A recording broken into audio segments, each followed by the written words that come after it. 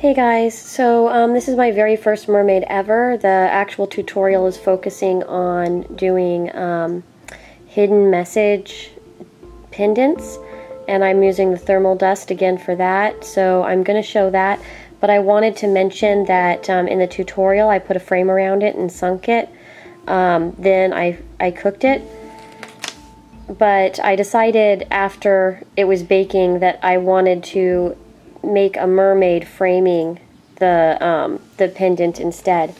So um, if I put her on a jewelry, it will probably be right here. So she's kind of upright or to the side holding this.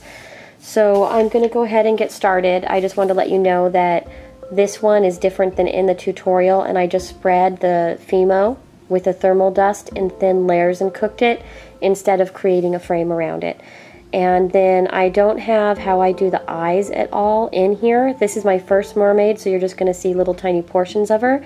But I wanted to show you I did some eyes um, as kind of a template to practice on. And um, I actually got this idea from Pink Sugar Cotton, and um, she has a tutorial I'm going to link in the description box below just showing different eyes. And I thought that was really cool. So, um, here is my very first mermaid ever. And if you do want me to do an actual um, full tutorial of a mermaid sometime, um, I'll be happy to. Like I said, this is my very first one ever. And I'm pretty pleased with her, but um, I mean, there's a lot better out there. But if you guys do want a tutorial on um, some anything that I've done with her, let me know. Thanks, guys. Bye.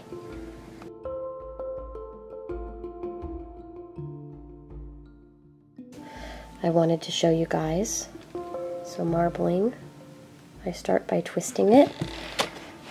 And I'm gonna not talk for a while here so I can fast forward the process of marbling here.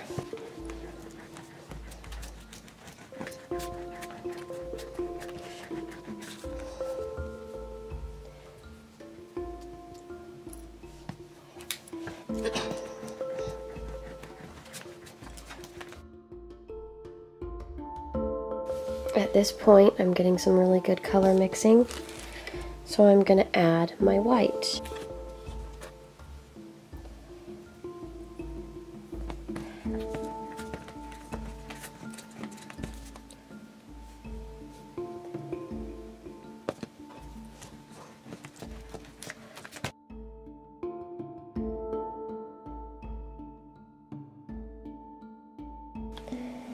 So from here, I'm going to stamp into the clay as best I can.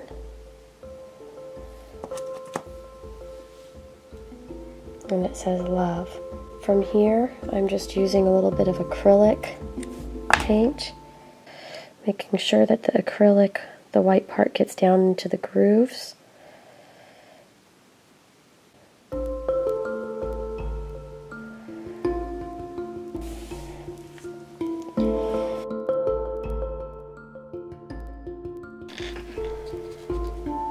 Next thing that we're going to do is sand it down so you get to read love.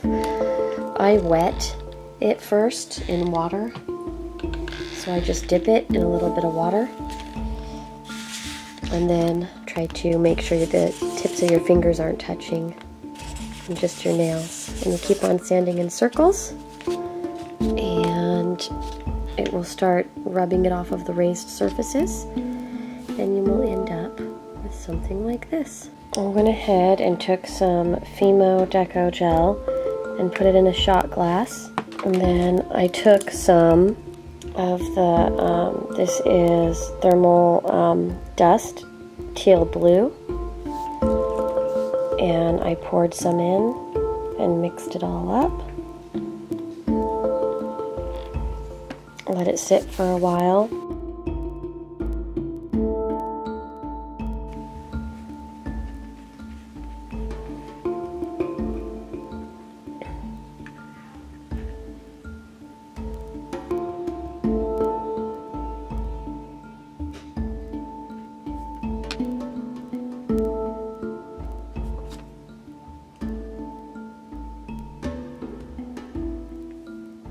Now we'll go ahead and bake it.